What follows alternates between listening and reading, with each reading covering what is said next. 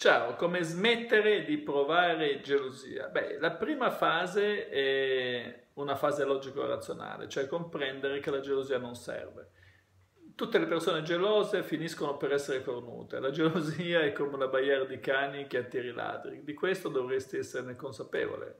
Eh, se non lo sei, prova a essere geloso nel momento in cui scoprirai di avere le corna e ti renderai conto che è vero. Dopo due o tre volte che verrai cronificato ti renderai conto che essere gelosi non funziona. Devi instaurare un pensiero opposto, pensare anziché essere geloso, poverino, poverina, non sa quello che si perde, se va con un altro non sa quello che si perde. E poi d'altra parte ognuno è libero di fare quello che vuole.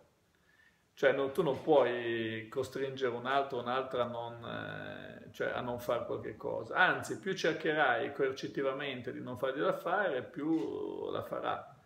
Se hai degli antagonisti, spingi l'altra persona verso gli antagonisti, fottitene e vedrai che invece verrà da te.